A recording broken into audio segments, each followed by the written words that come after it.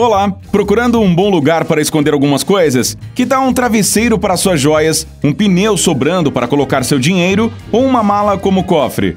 Se você vai só dar uma saída ou quer apenas manter seguras as coisas mais importantes, tenho várias ideias sobre o que se deve ou não fazer. Vamos começar com um cômodo que nenhum ladrão dá valor: o quarto de criança. Tá vendo aquela bola de tênis? Ela pode virar um cofre secreto. É só fazer um buraco e esconder algo precioso dentro. Uma bola de futebol também funciona. Apenas deixe sair o ar e abra uma das costuras. Depois de esconder suas coisas, é só fechar novamente. Esconda suas joias ou dinheiro em um vidro dentro de um brinquedo.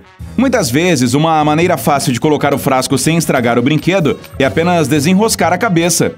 As fraldas descartáveis não utilizadas também dão um excelente cofre improvisado. Já as usadas garantirão que ninguém mais queira dar uma olhada. e se você conseguir abrir um globo, há espaço para várias coisas ali dentro.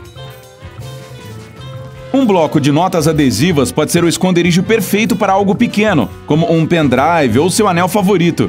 Primeiro remova a primeira e a última camada das páginas do bloco, que esconderão suas coisas depois.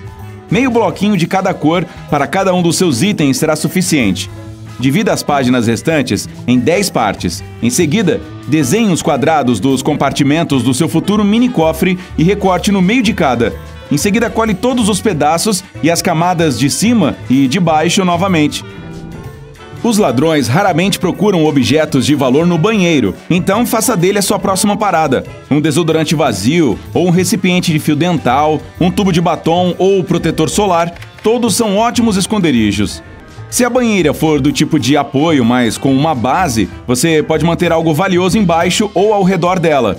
Uma caixa de sabão em pó oferece outra oportunidade de fazer um mini cofre. Ou remova as cerdas da escova de cabelo e coloque o dinheiro dentro. Você pode até enrolar as notas e escondê-las dentro do suporte de papel higiênico. Divida uma esponja facial em duas partes. Retire a parte de baixo, insira suas coisas e cole novamente. Coloque um pouco de base nela para ficar mais discreta. Passando para a cozinha, uma pilha de panelas e frigideiras colocadas uma em cima da outra é o esconderijo perfeito. Você pode embrulhar algumas pulseiras e colares em tecido ou em um saco plástico e colocar na pilha. Os assaltantes não terão tempo para verificar todas elas. Não se esqueça dos vidros com grãos. Coloque dinheiro ou um relógio dentro de um rolo de papel higiênico e depois enterre o rolo dentro do vidro. Ninguém irá suspeitar disso. Além disso, você pode borrifar o interior de um vidro de maionese com uma tinta creme. Tcharam! Agora sim você tem uma caixa forte. Uma caixa de cereal é um ótimo esconderijo para algo pequeno, mas valioso. Primeiro, coloque suas coisas em um saco plástico e depois enterre-as entre os flocos. Para algumas coisas, você pode fazer o mesmo com legumes congelados. Coloque-as em um saco plástico bem fechado primeiro. Lembre-se de contar para sua família todos os seus esconderijos na cozinha. Caso contrário, podem jogar fora o pote de maionese que está parado lá há um ano. Próxima parada: a sala de estar. Para transformar uma almofada em um eventual cofre, abra com cuidado, retire um pouco do enchimento e colhe um saquinho macio com dinheiro ou joias dentro. Coloque o enchimento de volta e costure para esconder seu segredo. Um álbum magnético fotográfico pode ter dois papéis: guardar as fotos da família e ocultar algum dinheiro. Coloque as cédulas por baixo das fotos. Os assaltantes não terão interesse em ver suas memórias de infância. Você também pode tentar esconder objetos nas fotos penduradas nas paredes. É possível usar um pôster descolado ou uma pintura para cobrir um armário de remédios cheio de objetos de valor. Ou comprar um porta-retratos grande com algum espaço para colocar coisas dentro.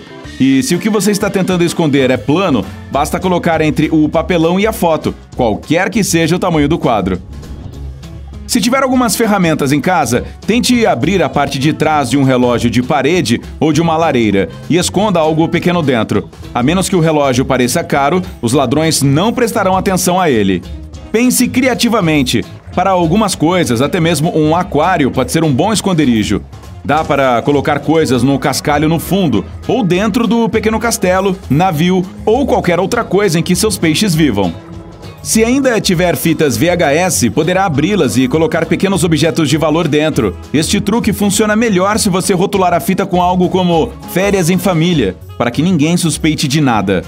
Com os livros, é possível fazer um bolso para ficar entre a capa e as páginas e colocar algum dinheiro lá.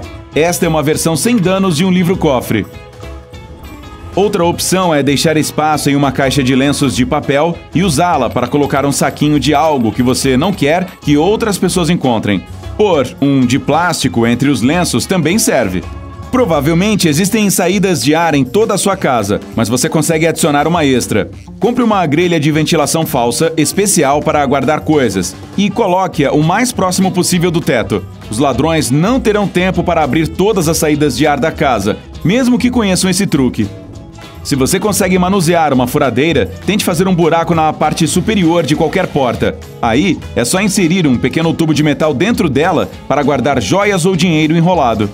Não jogue fora as latas de tinta vazias que você tem na garagem ou no depósito. Elas se tornam ótimos cofres para esconder entre as latas cheias em uma prateleira. O mesmo vale para recipientes de sabão em pó ou sacos de ração dos animais de estimação. Um saco de aspirador de pó é outro bom esconderijo. Uma impressora antiga ou uma caixa cheia de CDs também serve. Dá para colocar algo pequeno até dentro de uma lanterna. Se a sua tábua de passar tiver pernas tubulares com tampas removíveis nas extremidades, remova uma das tampas e encha a perna quase até o topo com algo inútil, como toalhas de papel. Em seguida, coloque seus objetos de valor dentro. Dessa forma, será mais fácil de retirar quando você precisar. Se tiver um pneu extra para carrinho de mão, deixe sair um pouco do ar e esconda suas coisas dentro. Volte a encher depois. Caso precise de um bom local para esconder suas chaves, tente uma casinha de passarinhos vazia com uma caixa dentro ou espaço abaixo do telhado de uma casinha de cachorro. Para proteger suas senhas e outros dados importantes, salve em uma pasta entre muitos outros arquivos. Atribua um nome enganador como resultados dos exames oftalmológicos. As chances são de que ninguém veja. No seu quarto, você pode desprender um pedaço de cabeceira da cama e colocar dentro sua pulseira favorita ou talvez um pendrive. Cortinas grossas e escuras também podem servir como um cofre seguro. Costure um bolso nas costas delas, usando uma linha da mesma cor. Isso serve para colocar algo leve e não muito volumoso. Se você tem em seu armário sapatos que não usa tanto, pode colocar um pouco de dinheiro embaixo da abertura deles. No entanto, existem alguns esconderijos que todos, incluindo ladrões, conhecem muito bem, e geralmente seu quarto é uma área bastante complicada, mas não para eles. Os malandros certamente irão olhar embaixo do colchão ou da cama, na gaveta de roupas íntimas e no roupeiro. Eles sabem que as mulheres gostam de manter seus objetos de valor em suas bolsas extras. Eles também podem facilmente levar uma bolsa para vendê-la online e ficar com o que está dentro. E ainda checarão os bolsos de suas roupas e passarão pelas caixas de sapatos, na esperança de encontrar uma delas cheia de coisas valiosas. Todas as gavetas da escrivaninha também são proibidas. Elas são o local mais óbvio para guardar documentos importantes e dinheiro. Assim como uma caixa de joias, um cofre portátil ou um gaveteiro com sofisticados mecanismos de fechamento. Os ladrões pegam e levam a coisa toda com eles e tentam abrir mais tarde, quando tiverem todo o tempo de que precisam. Bandidos também sabem que as pessoas gostam de esconder coisas em vasos vazios, mas se você adicionar algumas flores ou outros elementos decorativos, não será tão óbvio. Se você esconder suas coisas por toda a casa e tiver uma memória ruim como a minha, convém fazer um mapa de todos os locais e colocá-lo em um dos pontos em que definitivamente não esquecerá. Ei, se você aprendeu algo novo hoje, curta este vídeo e o compartilhe com um amigo. E aqui estão alguns outros vídeos legais de que eu acho que você vai gostar. Basta clicar à esquerda ou à direita e permanecer no lado incrível da vida.